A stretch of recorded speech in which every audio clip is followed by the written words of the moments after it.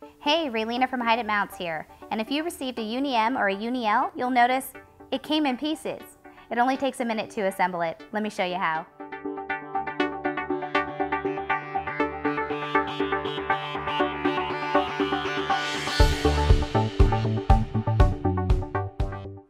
So you notice that we have three pairs of identical pieces.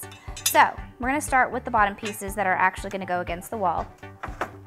Go ahead and slide your component in there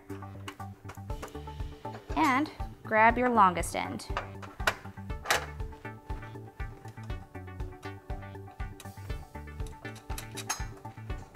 Now, you don't want to do it too tight to start with Once we have all the pieces on, we can tighten it up.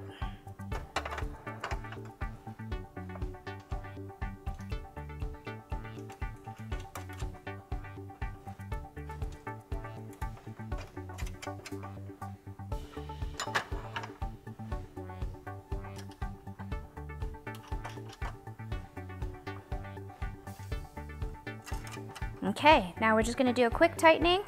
Make sure everybody's in place. There you have it, assembled and ready to install. For more information, check out our installation video and our step-by-step -step instructions.